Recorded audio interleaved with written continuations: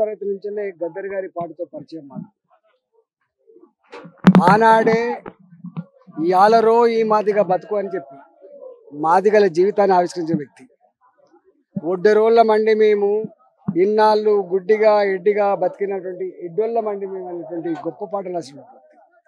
గ్యాంగోళ్ళ మీద పాట రాసిండు పోలీస్ అన్నల మీద పాట రాసిండు. ఒక్క మాటలో చెప్పాలంటే ఎక్కడ దుఃఖం ఉందో ఎక్కడ అణచివేతుందో ఎక్కడ బాధ ఉందో ఆ బాధని ఆవిష్కరించినటువంటి మహనీయుడు ఇవాళ గద్దర్ గారు. గద్దర్ గారు తెలంగాణ ఉద్యమంలో వేల ఉపన్యాసాల కంటే కూడా ఆయన రాసిన ఒక పాట తెలంగాణ యావత్ సమాజాన్ని కదిలించింది ఐక్యం చేసింది స్ఫూర్తినిచ్చింది మళ్ళీ ఉద్యమానికి నడిపింది ఆ పాట. ఇవాళ ఆయన లేని లోటు ఇవాళ ఎప్పటికీ తీర్చలేదు. మరీ ముఖ్యంగా ఆయన మరణించేంత వరకు కూడా పరమపదించేంత వరకు కూడా తపన పడ్డది రెండే రెండింటి కోసం తపన అరే ఈ సామాజిక తెలంగాణ అంటివి కదా మనం. ఏ సామాజిక తెలంగాణ కోసం అయితే కళ్ళగన్నామో ఏ ప్రజాస్వామికమైన తెలంగాణ కోసం కళ్ళగన్నామో అది కనపడతలేదు కదా అనేటువంటి ఒక భావన ఆయన పదే పదే వ్యక్తం చేసేవాడు. వారు అనేది అరే బొందిలో ప్రాణం ఉన్నంత వరకు నేను ఈ జాతుల్ని వదిలిపెట్టా. బృందులో ప్రాణం ఉన్నంత వరకు ఈ జాతుల కోసం పాట రాస్తూనే ఉంటా పాడుతూనే ఉంటా అని చెప్పి పరితపించిన మహనీయుడు గద్దర్ గారు. ఇలా ఆయన లేని లోటు ఈ జాతులకు మరి ముఖ్యంగా తీర్చలేంది ఆయనని కేవలం ఈ జాతులు మాత్రమే గౌరవించడం కాదు ఆయన ఫిలాసఫీని వ్యతిరేకించే వర్గాలు కూడా గద్దర్ అంటే గద్దర్ పాట అంటే గద్దర్ మాట అంటే ఇష్టపడే సమాజం ఉన్నది. అందుకని నాకు తెలిసి ఆయన ఒక కులానికో ఒక మతానికో ఒక ప్రాంతానికో ఒక వర్గానికో సంబంధించిన వ్యక్తి కాదు. ఆయన అందరి మనిషిగా అందరి మనిషిగా ప్రజల గుండెల్లో చిరస్థాయిగా స్థానాన్ని సంపాదించుకున్న బిడ్డ. ఇవాళ ఆయన మరణించి కూడా బతికుండేటువంటి మహనీయుడు గద్దర్ గారు. వారి కుటుంబానికి ప్రగాఢమైన సానుభూతి తెలియజేస్తాను. ఎందుకంటే వారి కుటుంబం అంటే కేవలం వాళ్ళ రక్త సంబంధికులు మాత్రమే కాదు. ఆయన ఒక మాట చెప్పేది రక్త సంబంధం కంటే కూడా వర్గ సంబంధం గొప్పది తమ్మి అని చెప్పి చెప్పాడు.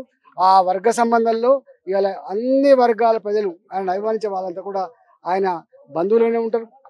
కాబట్టి అందరికి కూడా సా ప్రగాఢ సానుభూతి తెలియజేస్తా ఉన్నా వారి ఆత్మకు శాంతి కలగాలని చెప్పి కోరుకుంటా ఉన్నా వారి కుటుంబానికి ఈ సందర్భంలో తట్టుకునే ధైర్యాన్ని స్థైర్యాన్ని అందించాలని చెప్పి వేడుకుంటా ఉన్నా. గారు లేనటువంటి లోటు ఎవరు తీర్చలేరు. పేదోళ్ళ పక్షాన పేదల బాధను తెలియజేసినటువంటి మహనీయుడు అసలు భూస్వామ్య వ్యవస్థలో అసలు బయటికి రాని న్యూస్ను కూడా బయటికి తీసుకొచ్చి మరి ప్రజల్ని చైతన్యవంతం చేసినటువంటి నాయకుడు గద్దరని సందర్భంగా తెలియజేస్తాను ఒక త్యాగశీలి. తన జీవితం అంతా పేదవాళ్ళ కోసమే పాట ద్వారా తెలియజేసి అంకితం చేసినటువంటి త్యాగశీలి అని కూడా ఈ సందర్భంగా తెలియజేస్తా ఉన్నా. వారు లేనటువంటి లోటు ఎవరు తీర్చలేరు. వాళ్ళ వల్ల ఎవరి వల్ల కాదని కూడా ఈ సందర్భంగా తెలియజేస్తాం నమస్కారం. వారి స్ఫూర్తిని పదిలంగా మన గుండెల్లో గుర్తు పెట్టుకోవడానికి భద్రపరచుకోవడానికి ఇవాళ గద్దరన్న భౌతిక కాయాన్ని ఎల్బీ స్టేడియంలో తీసుకొచ్చి పెట్టడం జరిగింది.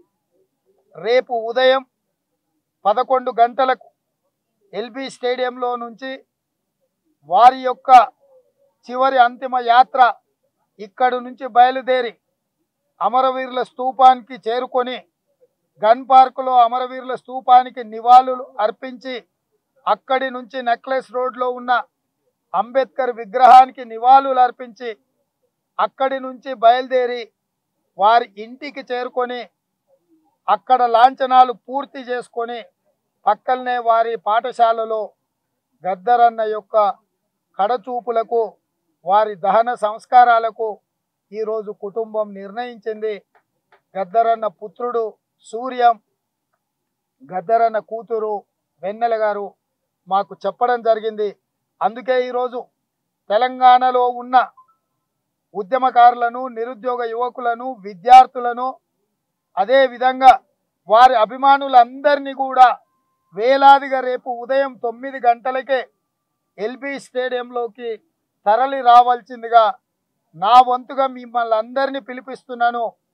నేను పూర్తి స్థాయిలో ఇక్కడ ఉండి గద్దరన్న అంతిమ సంస్కారాలు పూర్తి అయ్యే వరకు ఆ కుటుంబానికి అండగా నిలబడి ఇవాళ వారి యొక్క పోరాటాన్ని వారి యొక్క స్ఫూర్తిని తీసుకొని వారు ఏదైతే మొదలు పెట్టినరో మలి దశ తుది దశ తెలంగాణ ఉద్యమం తెలంగాణకు పట్టిన చీడ పీడను విరగడి చేయడానికి ఏ స్ఫూర్తినైతే వారు మాకు ఇచ్చిండ్రో ఆ స్ఫూర్తిని గుండెల నిండా నింపుకొని తెలంగాణకు విముక్తి కలిగించడానికి ఈ పోరాటంలో మేమందరం పాల్గొంటాము.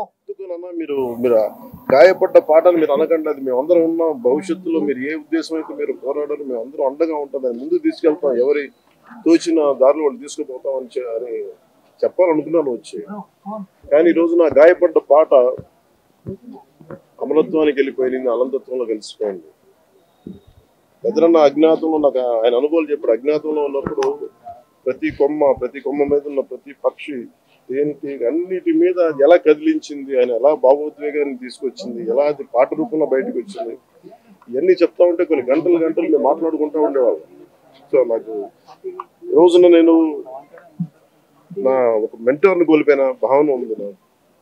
నేను నాకు ప్రేరణ కలిగించిన చాలా చిన్న వయసులో ప్రేరణ కల్ కల్పించిన శ్రీశ్రీ తర్వాత ఒక శ్రీశ్రీ ఒక ఒక పంతొమ్మిది వందల అరవై డెబ్బై అరవై నలభై నుంచి అరవై దశకాలకి శ్రీశ్రీ అయితే డెబ్బై మధ్యలో నుంచి డెబ్బై నడువులో నడుములో నుంచి ఈ రోజు దాకా గద్దరనే దీనికి కొన్ని తరాల ప్రేరణ.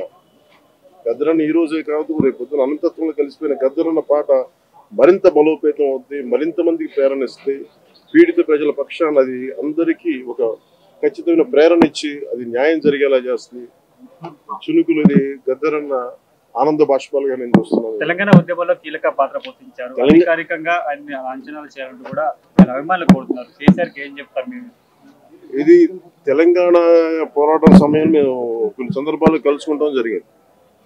అన్న చెప్పింది ఏంటంటే నేను అన్న మాటకి ఎందుకు మేము ఏకీభవించాం ఆ రోజునంటే తెలంగాణ ప్రజలు నిజాం టైంలో రజాకాల సమయంలో నుంచి ఎప్పుడు పోరా పోరాటాల గడ్డది ప్రజలు నలిగిపోయారు ఇక్కడ. ఇది ఇది ఈ ప్రత్యేక రాష్ట్రం అనేది నేను ఇట్లా మద్దతు తెలుపుతాను తమ్ముడు నాది అని చెప్పి నాకు చెప్పినప్పుడు అన్నగా కూడా చెప్పిన మీరు ఏ నిర్ణయం తీసుకున్నా అది ప్రజల పక్షాన న్యాయం జరిగే నిర్ణయం ఉంటుంది అది.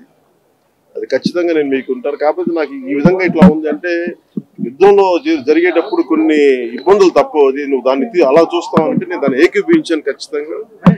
అలాంటిది తెలంగాణ రాష్ట్ర విభజనకి తెలంగాణ ప్రత్యేక రాష్ట్రం కావడానికి గద్దరన్న చేసిన సేవలంతా ఇంత ఎందుకంటే ఆయన ప్రతి చోట పాత బస్తీలో పాత బస్తీ నాయకుల దగ్గర నుంచి నరుము భద్రాచలం శ్రీరాములు శ్రీరాములు వారి శ్రీరామచంద్రమూర్తి గుడి దాకా పోయి అంటే ఎప్పుడు అన్న ఎప్పుడు మేము ప్ర- ప్రజాక్షేత్రంలో చూసాం కానీ గుడిలో కూడా మేము చూడలేదు. ఫస్ట్ మేము ఎందుకని అడిగితే ఇది అందరినీ కలుపుకోవాల్సిందే.